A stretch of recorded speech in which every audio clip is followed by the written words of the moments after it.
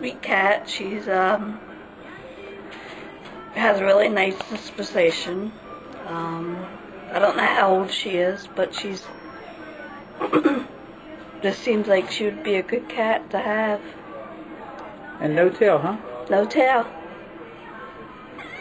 And she's just I don't know how she is with other cats or whatnot. Um, Certainly doesn't mind being held. no, she doesn't. She loves to be petted. And if you want a cat to snuggle up with you, she's the one that loves to snuggle.